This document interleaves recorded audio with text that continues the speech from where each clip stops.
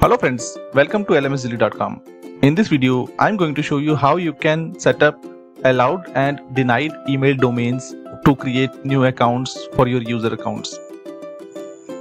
Spam user creation is a big problem for any Moodle administrator.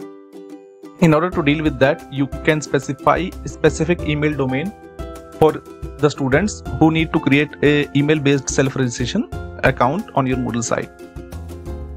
You can specify the name of your institution or your school or your company to eh, the allowed domains list and then Moodle will take care of the balance other domains. It will not allow the other domain users to create an account on your Moodle site.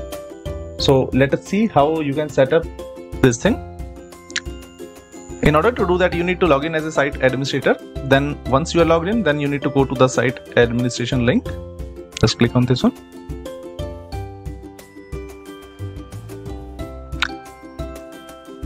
Now you need to navigate to the plugins tab.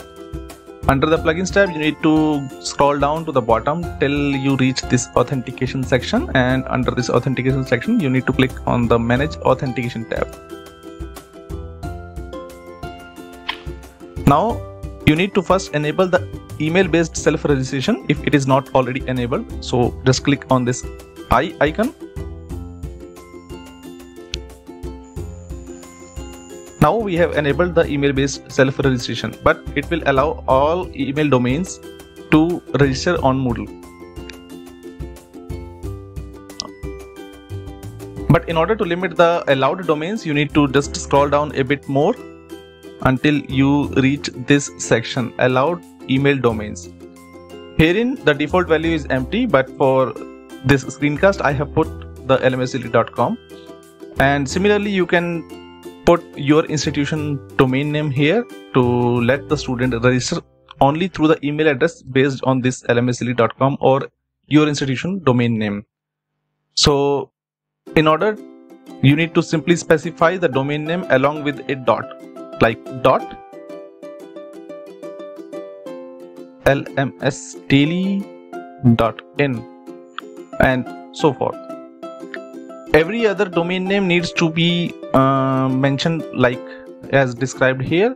You need to mention the domains by uh, separated by spaces. The domains mentioned here will only be allowed to create a new account in Moodle. The other domains will be rejected. So once you are done just go and click the save changes at the bottom. So after you configure this. I will show you how a student can register or if they will use any other domain address then what the error they will see.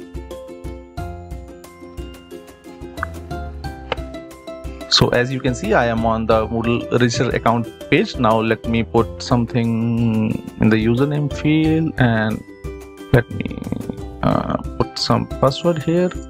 And I will mention some other email address here instead of the allowed domains to check what I can see. So let me just render and then create new account here. So as you can see that Moodle is showing me a error message that please use your school slash work email ID only to register. This is not the default language string what is being shown here. So i will show you how you can customize this kind of language strings. But similarly you will see an error message here to use specific email domains only. So this is how you can test self registration on your moodle site. Thank you very much for watching this video. I hope you would have liked this video. Please uh, subscribe to our channel and uh, press the bell icon at the bottom of the video. Thank you very much for watching